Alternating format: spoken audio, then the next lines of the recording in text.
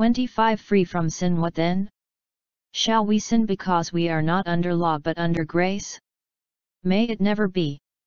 Do you not know that when you present yourselves to someone as slaves for obedience, you are slaves of the one whom you obey, either of sin resulting in death, or of obedience resulting in righteousness? But thanks be to God that though you were slaves of sin, you became obedient from the heart to that form of teaching to which you were committed, and having been freed from sin, you became slaves of righteousness. I am speaking in human terms because of the weakness of your flesh. For just as you presented your members as slaves to impurity and to lawlessness, resulting in further lawlessness, so now present your members as slaves to righteousness, resulting in sanctification. For when you were slaves of sin, you were free in regard to righteousness. Therefore what benefit were you then deriving from the things of which you are now ashamed? For the outcome of those things is death. But now having been freed from sin and enslaved to God, you derive your benefit, resulting in sanctification, and the outcome, eternal life. For the wages of sin is death, but the free gift of God is eternal life in Christ Jesus our Lord. 6. 1523 Sin is the most devastating, debilitating, degenerating power that ever entered the human stream. Its evil, in fact, corrupted the entire creation, which groans and suffers the pains of childbirth together until now, Rom. 8, 22. Scripture characterizes sin and its effects in many ways. It refers to it as defiling, a pollution of the soul. It is to the human soul what corrosion is to a precious metal or smog is to a beautiful sky. Sin is called an impure thing, ISA 30, 22, and it is compared to the venom of serpents, and the deadly poison of cobras, deuterium. 32, 33. Even things that men consider to be righteous are like a filthy garment, lit. Menstrual cloth, in God's sight, ISA. 64, 6, cf. Zech. 3, 3 4. Paul refers to sin as defilement of flesh and spirit, 2 Cor. 7, 1, and to sinners as those whose minds and consciences are defiled, Titus 1, 15. Sin is rebellious, ignoring and even trampling on God's word. Someone has called sin God's would, be murderer, because if sin had its way it would destroy God himself along with his righteousness. Sin is ungrateful, refusing to acknowledge God as the source of every good thing. The sinner indulges in God's gracious provisions that are all around him but fails to credit. Much less thank God for those things. He takes God's blessings and uses them to serve self and Satan. Every sinner is like Absalom, the undisciplined son of David who kissed his father while plotting to usurp his throne, see 2 Sam. 14, 33-15, 6. Sin is incurable by man's own efforts and power. Even if fallen man wanted to rid himself of sin, he could not do it, any more than the Ethiopian could change his skin or the leopard his spots. J. 13, 23.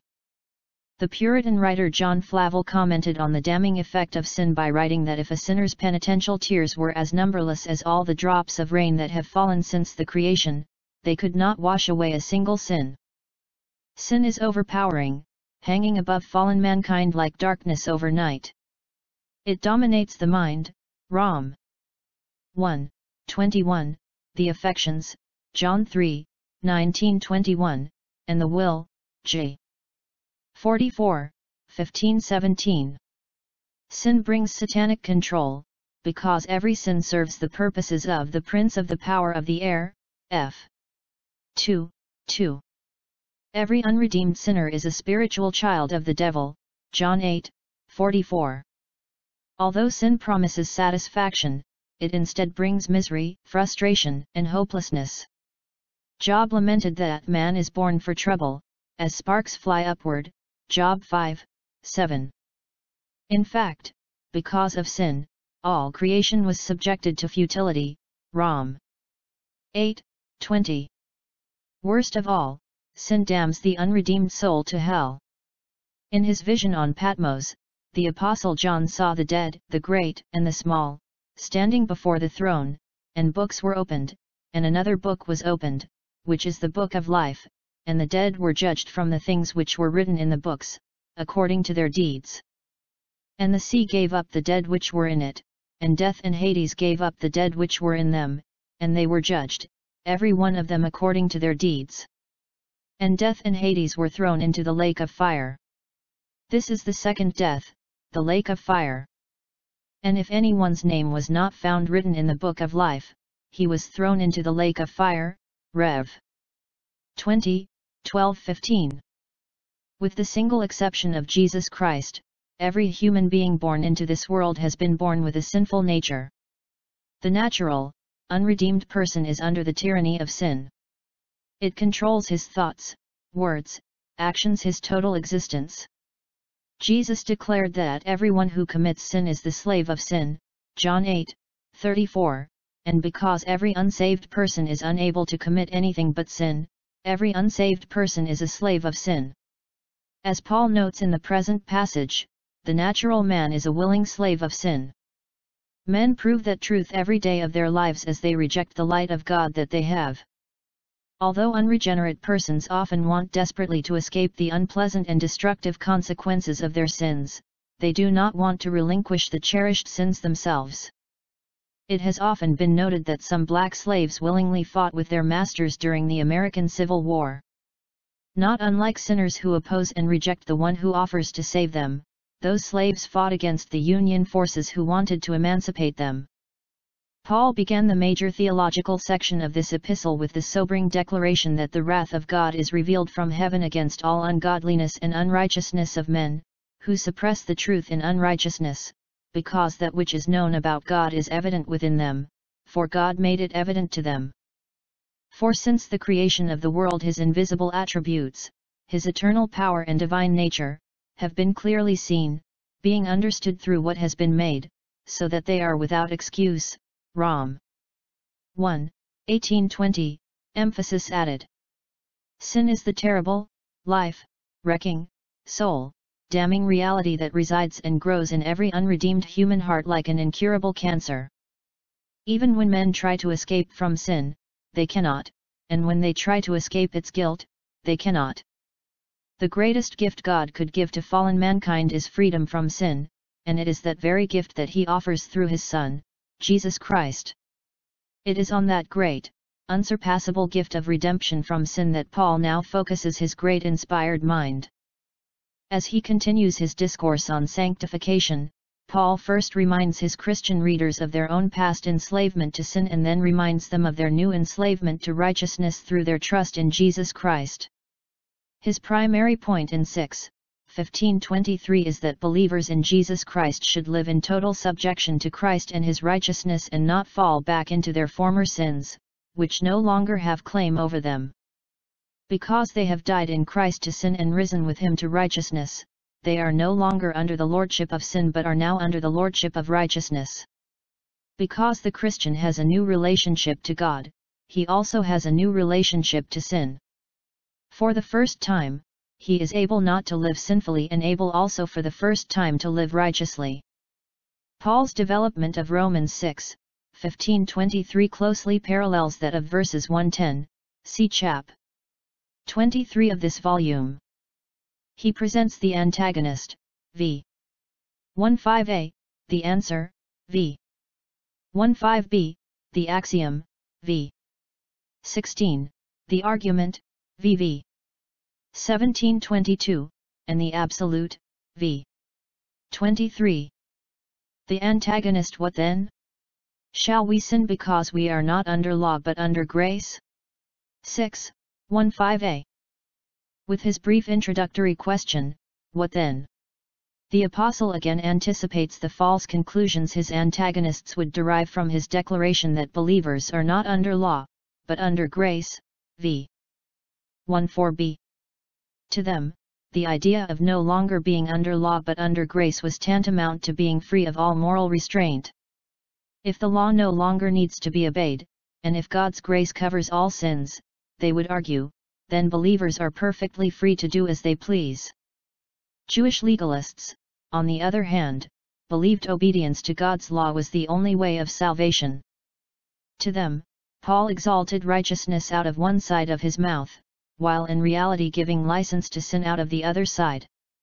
They accused Paul of condoning lawlessness in the name of God's grace.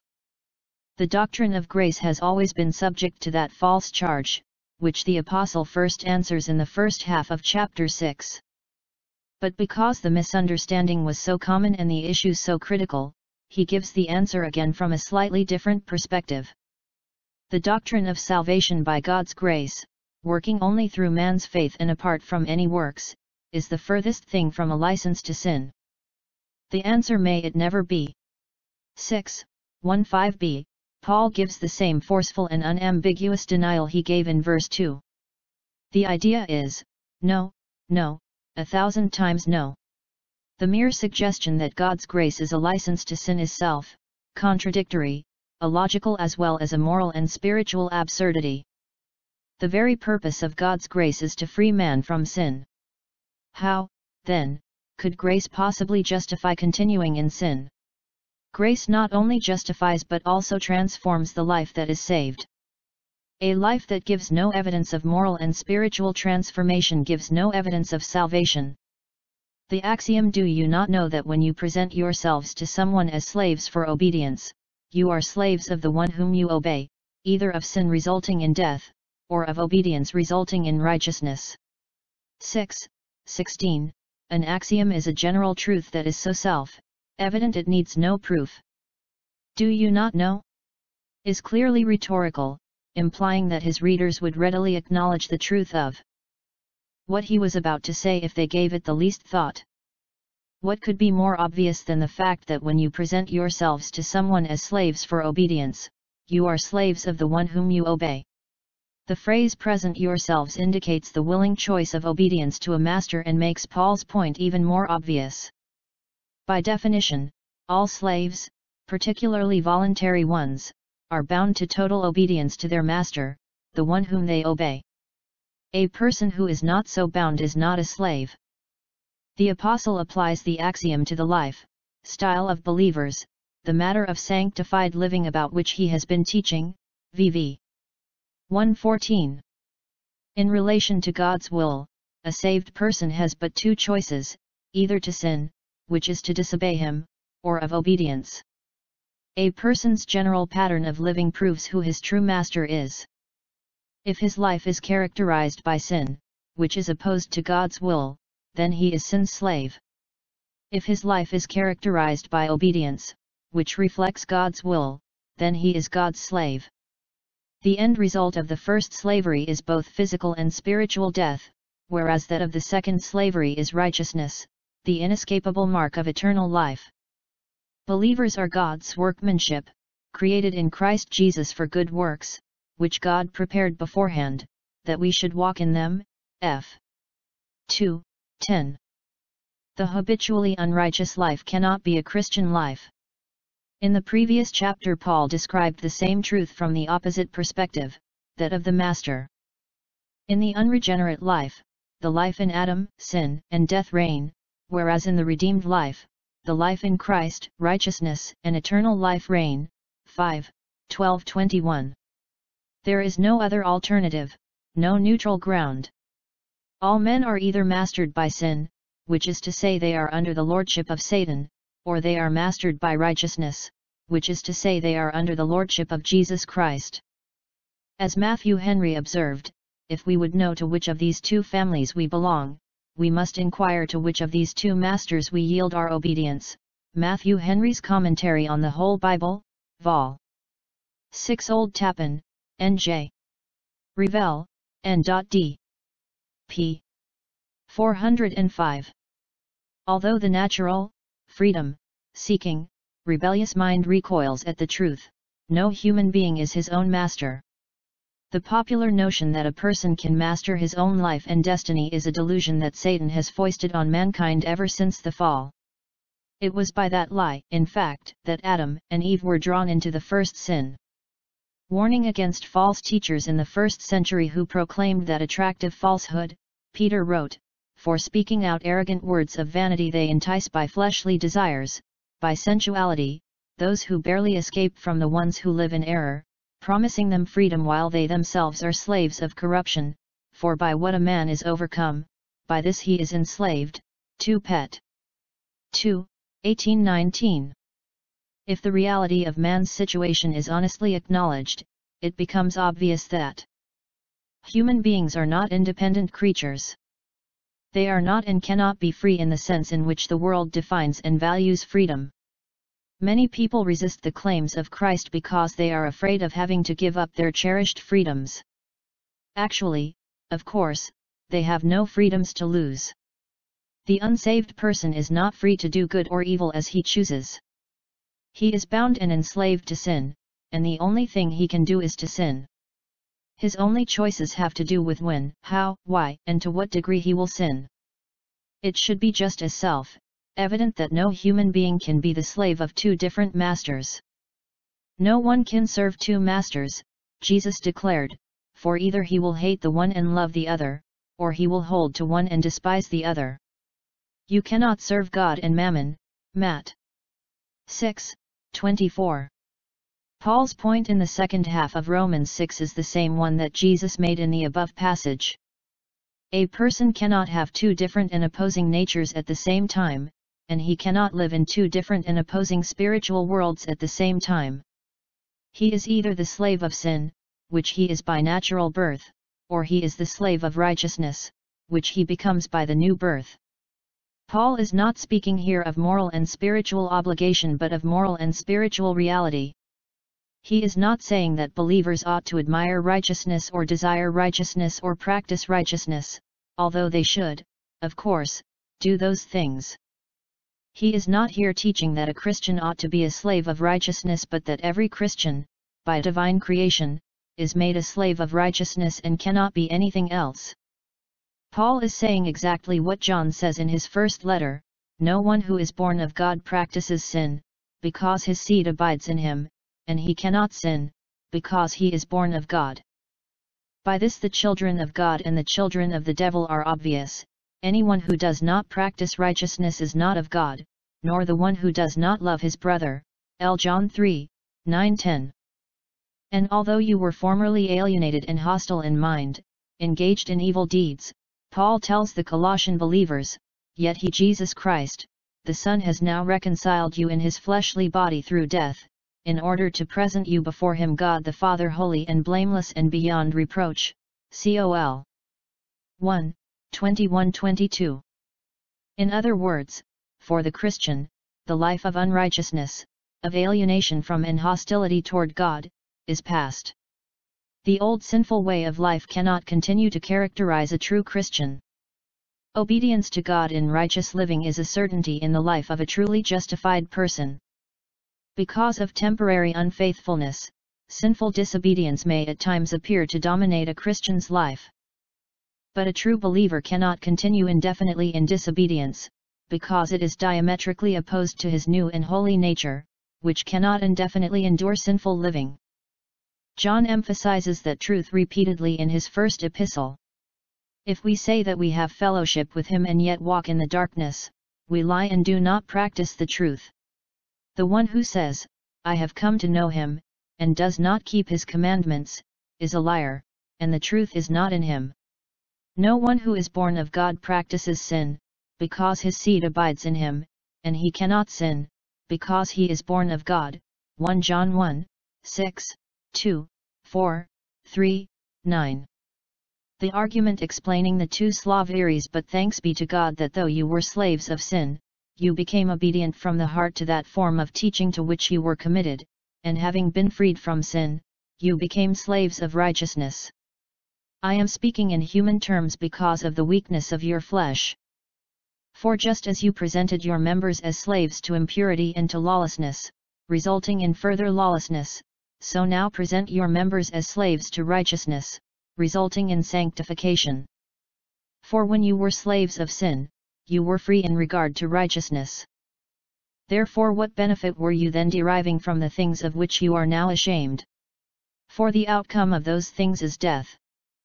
But now having been freed from sin and enslaved to God, you derive your benefit, resulting in sanctification, and the outcome, eternal life. 6. 1722, Paul here explains and applies the principle he has just stated, v. 16, namely, that a person is a slave either to sin and Satan or to righteousness and God. In doing so, he contrasts the three aspects of each of those two domains of servanthood, their position, their practice, and their promise. Their position But thanks be to God that though you were slaves of sin, you became obedient from the heart to that form of teaching to which you were committed, and having been freed from sin, you became slaves of righteousness. 6. 1718, First the Apostle gives thanks, to God that his believing readers were no longer subject to the slavery that leads to death. He does not thank or praise them for their own wisdom or intelligence or moral and spiritual determination, because none of those things had a part in their salvation. No one can come to me, Jesus said, unless the Father who sent me draws him. And unless it has been granted him from the Father, John 6, 44, 65. Our thanks for salvation should always be to God alone, because it is God alone who gives us the victory through our Lord Jesus Christ. 1 Cor. 15, 57. Believers are saved solely by the grace and power of God. And by His grace, habitual disobedience to Him is in the past tense. Formerly, Paul says, you were slaves of sin, but no more. Were translates an imperfect Greek tense, signifying an ongoing reality. In other words, the unregenerate person is under the continual, unbroken slavery of sin. That is the universal position of the natural man, with no exceptions. No matter how outwardly moral, upright, or benevolent an unsaved person's life may be, all that he thinks, says, and does emanates from a proud, sinful, ungodly heart. Quoting from Psalm 14, Paul had already made that truth clear. As it is written, there is none righteous, not even one, there is none who understands, there is none who seeks for God, all have turned aside, together they have become useless, there is none who does good, there is not even one, Rom. 3, 10 12. That Paul is not speaking about merely outward righteousness is made clear from his declaration that you became obedient from the heart. God works his salvation in a person's innermost being. Through the grace provided by his Son, God changes men's very natures when they trust in him. A person whose heart has not been changed has not been saved. Righteous living that issues from an obedient heart is habitual. And just as God's grace operates only through a trusting heart, his righteousness operates only through an obedient heart.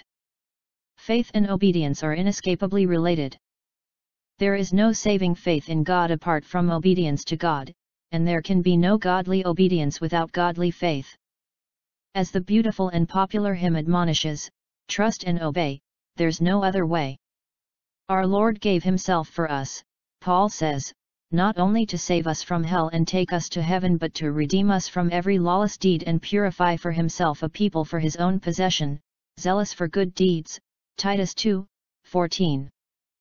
Salvation comes according to the foreknowledge of God the Father, by the sanctifying work of the Spirit, Peter wrote to persecuted believers throughout the Roman world, in order that those who believe may obey Jesus Christ and be sprinkled with his blood, a symbol referring to a covenant of obedience, cx 24, 1-8. Later in the epistle he admonished, Since you have in obedience to the truth purified your souls for a sincere love of the brethren, fervently love one another from the heart, for you have been born again not of seed which is perishable but imperishable, that is, through the living and abiding Word of God, 1 Pet. 1, 2, 22 23, emphasis added. Obedience to Jesus Christ and obedience to His truth are totally synonymous, and His truth is the living and abiding Word of God. Obedience neither produces nor maintains salvation, but it is an inevitable characteristic of those who are saved.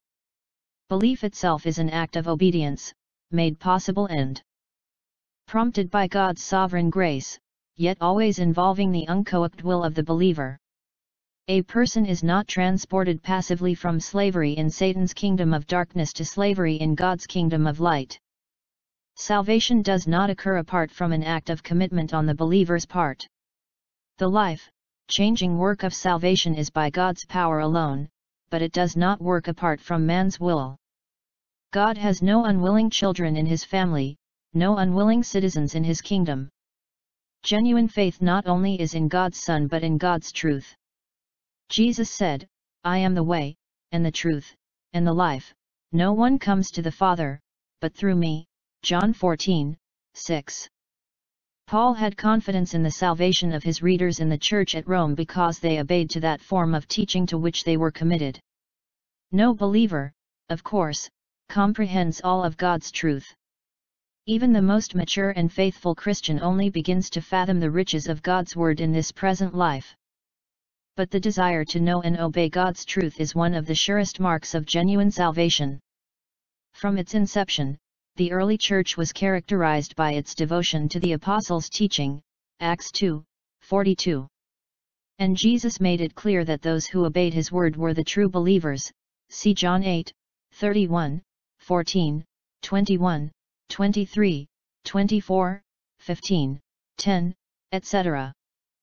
Form translates tupos, which was used of the molds into which molten metal for castings was poured. Committed translates the aorist passive of paradidōmi, which carries the basic meaning of deliver over to. And because EIS, to, can also be translated into, it seems that a more precise rendering of this phrase is that form of teaching into which you were delivered. It is true, of course, that, through its reading and preaching, God's word is delivered to believers. But Paul's point here seems to be that the true believer is also delivered into God's word, his divine teaching. The idea is that when God makes a new spiritual creation of a believer, he casts him into the mold of divine truth. The J. B. Phillips rendering of Romans 12, 1 uses the same figure, don't let the world around you squeeze you into its own mold, but let God re-mold your minds from within. In other words, do not let Satan's forces try to fit you back into the old sinful mold from which God delivered you. Let God continue to fashion you into the perfect image of His Son. Throughout his epistles, Paul emphasizes the crucial relationship of God's truth to faithful Christian living. In his second letter to Timothy, he advised his young protege in ministry to retain the standard of sound words which you have heard from me, in the faith and love which are in Christ Jesus. 2 Tim 1, 13. He later warned him that the time will come when men will not endure sound doctrine, but wanting to have their ears tickled, they will accumulate for themselves teachers in accordance to their own desires. 4, 3. The apostle maintained that an overseer, or elder, in the church should hold fast the faithful word which is in accordance with the teaching, that he may be able both to exhort in sound doctrine and to refute those who contradict. Titus 1, 9. Later in the same letter he admonished Titus to speak the things which are fitting for sound doctrine. 2. 1. The Christian who faithfully obeys God's word becomes conformed to the truth of that word, a living model of the gospel. The divine teaching to which a believer submits himself in Jesus Christ stamps him with the authentic image of his Savior and Lord. A person does not become a Christian by claiming the name of Christ and then believing and doing whatever he himself wants. You cannot become a Christian by merely saying or doing certain things, even the godly things extolled in Scripture. But after genuine salvation a person will have the innate, spirit-led desire to know and to obey God's truth. After a businessmen's luncheon at which I spoke, a man said to me, I've been in this group for a long time, and I'll tell you how I think you can get to God. You see, there is this long stairway, and at the top there is a door and behind it is this guy Jesus. What you really want to do is try to make it up the stairs and get through the door and then hope Jesus lets you in. As you're on your way up the stairs, you've got all these preachers and movements cheering you on, but you just continue going up the stairs your own way. I call it the stairway of hope. That's what I think the gospel is. With a heavy heart I replied, Sir, you cannot be a Christian. What you just said has nothing to do with the gospel, and your stairway to heaven is hopeless. You need to depend on Jesus Christ alone for your salvation. You have no idea of what it means to be saved, and you cannot be on your way to heaven. A person cannot invent his own way to God, no matter how sincere his efforts might be. God has established the only way to come to Him, and that is the way of faith in His Son, Jesus Christ. And saving faith in Jesus Christ is built on God's revelation about Him, not on men's ideas about Him. There is divinely, revealed content to the gospel, and the person who rejects or circumvents that content gives unmistakable evidence that he is not truly seeking God's kingdom and his righteousness. Witness Lee, founder of the local church movement, wrote a book entitled Christ versus Doctrine, the main thesis of which is that it is a personal relationship to Christ that matters and that doctrine actually interferes with that relationship. The book not only is unbiblical but, as one might guess from the title, is also self-contradictory. Doctrine is simply another word for teaching, and the purpose of Lee's book, of course, was to teach his own doctrine. Their practice I am speaking in human terms because of the weakness of your flesh. For just as you presented your members as slaves to impurity and to lawlessness, resulting in further lawlessness, so now present your members as slaves to righteousness, resulting in sanctification. 6. 19. It is difficult to put divine principles and truths into terms that finite human minds can comprehend. In saying, I am speaking in human terms because of the weakness of your flesh, Paul meant that the analogy of masters and slaves was used as an accommodation to his readers' humanness. Flesh is here used as a synonym for humanness or mortality and is equivalent to the members of your body in verse 13 and members at the end of verse 19.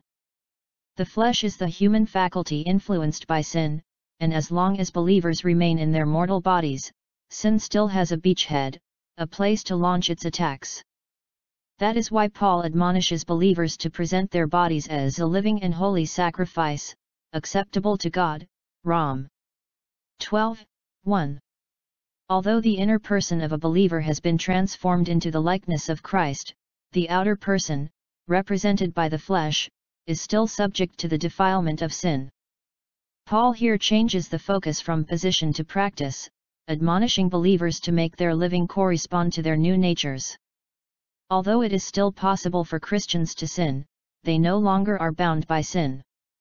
Now they are free not to sin, and they should exercise that divinely, provided ability in obedience to their new Lord and Master. Before salvation, believers were like the rest of fallen mankind, having no other desire or ability but to follow their natural bent to impurity and to lawlessness. Those two terms refer, respectively, to inward and outward sin. The unregenerate person is both internally and externally sinful, and as he lives out his sinfulness it results in still further lawlessness. Like a cancer that reproduces itself until the whole body is destroyed, sin reproduces itself until the whole person is destroyed. After the brilliant writer Oscar Wilde's homosexuality and other deviant behavior was made public, he wrote, one forgot that what a man is in secret he will someday shout aloud from the housetop. Another famous writer, Sinclair Lewis, was the toast of the literary world and received the Nobel Prize in Literature in 1930. To mock what he considered the hypocrisy of Christianity, he wrote Elmer Gantry, the fictitious story of a Bible, pounding evangelist who was secretly an alcoholic, a fornicator, and a thief. Few people know, however, that Lewis himself died an alcoholic in a third-rate clinic outside Rome, a devastated victim of his own sinful life, style. Because it is possible for them to resist sin and to live righteously, believers should now present their members as slaves to righteousness. And just as the life of sin leads to further sin, so the life of righteousness leads to further righteousness, whose ultimate end is complete sanctification. The late Martyn Lloyd-Jones wrote, as you go on living this righteous life, and practicing it with all your might and energy, and all your time, you will find that the process that went on before, in which you went on from bad to worse and became viler and viler, is entirely reversed. You will become cleaner and cleaner, and purer and purer, and holier and holier, and more and more conformed unto the image of the Son of God. Romans, an exposition of chapter 6 Grand Rapids, Zondervan, 1972, pp. 268-69 No one stands still morally and spiritually. Just as unbelievers progress from sinfulness to greater sinfulness, a believer who is not growing in righteousness, though never falling back altogether out of righteousness, will slip further and further back into sin. God's purpose in redeeming men from sin is not to give them freedom to do as they please but freedom to do as he pleases, which is to live righteously.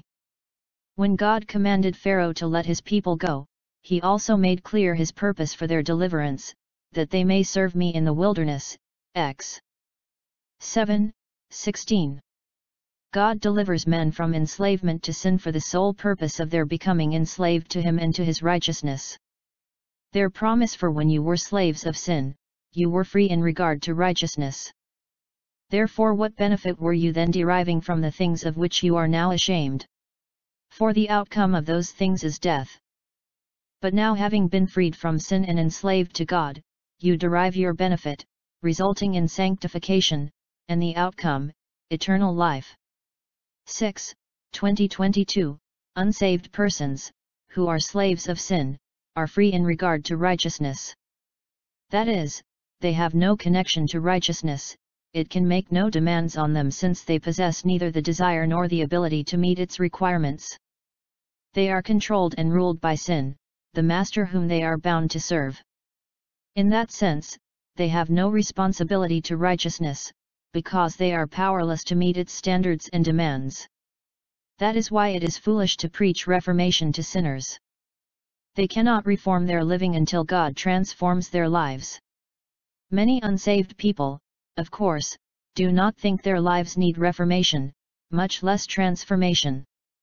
The world is full of people who are decent, honest, law, abiding, helpful, and often very religious, who think their lives are exemplary.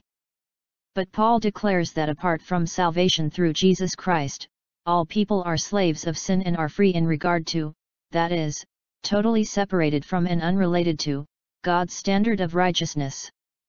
Paul described his own good works and religious accomplishments before salvation as rubbish, or dung, Phil. 3, 8. In God's sight, there is absolutely no benefit that men can derive from the things they do apart from salvation, things of which after salvation they become ashamed. The only possible outcome of those things is death, the second death, which is spiritual death and eternal torment in hell. One of the marks of true salvation is a sense of being ashamed of one's life before coming to Christ. Whether the previous life was marked by sordid immorality or great propriety, by heinous crimes or sacrificial service to others, by extreme selfishness or extreme generosity, it is a life about which the true believer can be nothing but ashamed. No matter how it may appear before the world, the life apart from God is a life apart from righteousness. John Calvin wrote, As soon as the godly begin to be enlightened by the Spirit of Christ and the preaching of the gospel, they freely acknowledge that the whole of their past life, which they lived without Christ, is worthy of condemnation. So far from trying to excuse it, they are in fact ashamed of themselves. Indeed, they go farther, and continually bear their disgrace in mind, so that the shame of it may make them more truly and willingly humble before God. The Epistles of Paul the Apostle to the Romans and to the Thessalonians Grand Rapids, Eerdmans, 1960, p. 135, but for those who have been freed from sin and enslaved to God through faith in Jesus Christ, the benefit is sanctification and the outcome is eternal life. In salvation God not only frees us from sin's ultimate penalty but frees us from its present tyranny.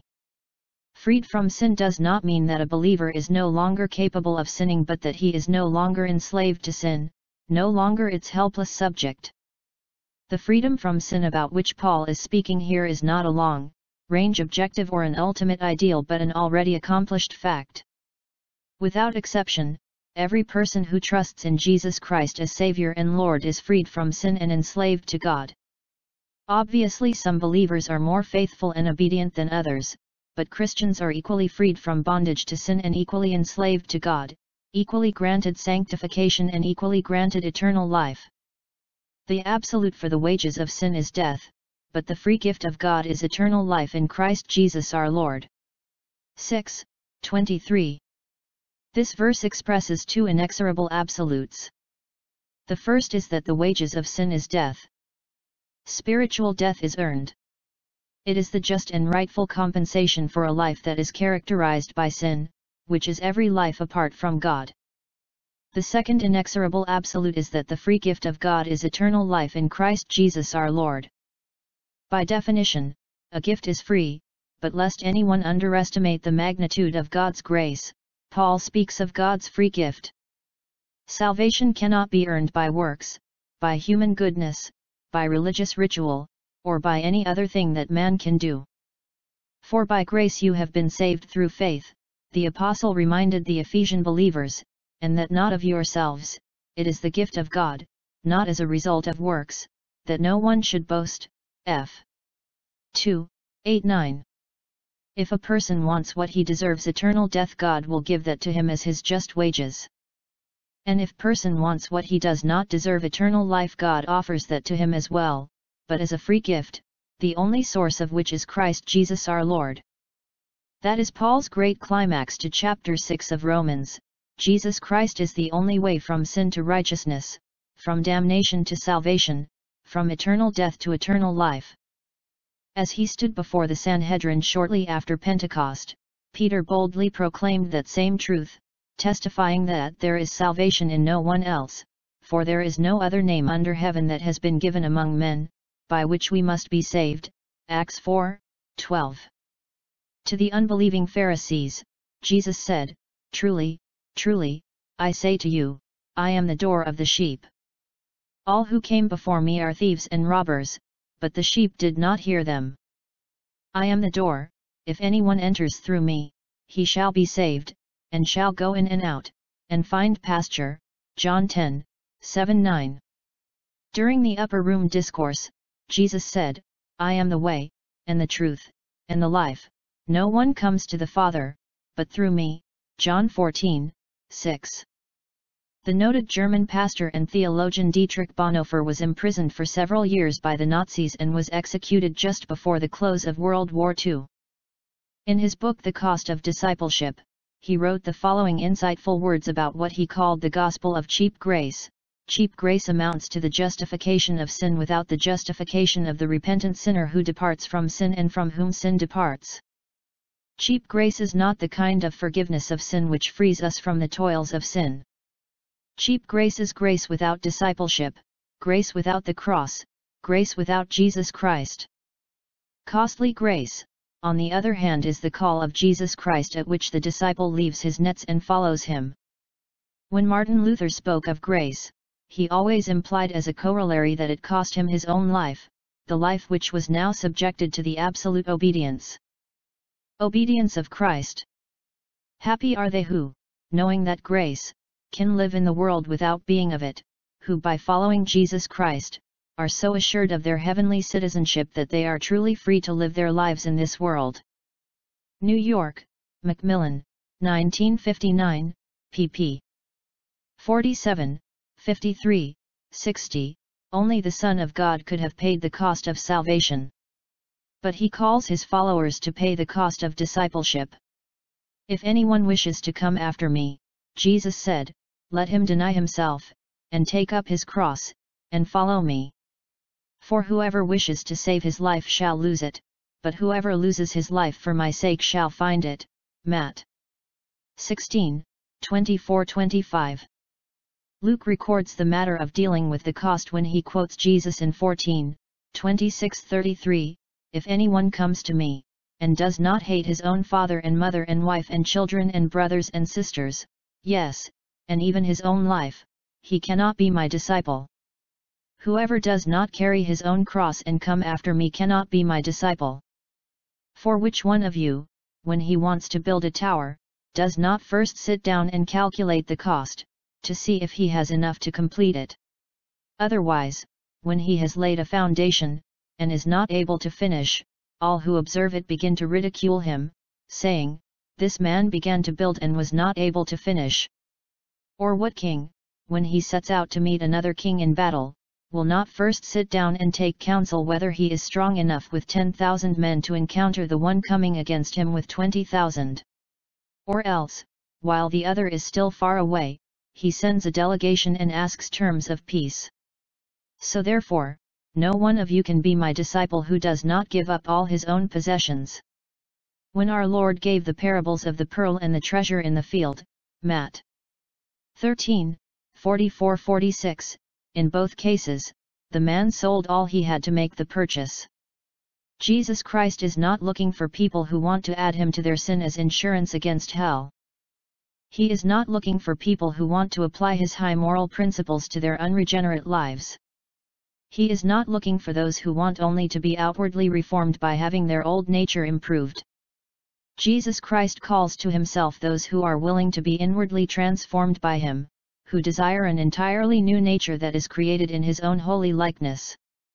He calls to himself those who are willing to exchange their sinfulness for his holiness.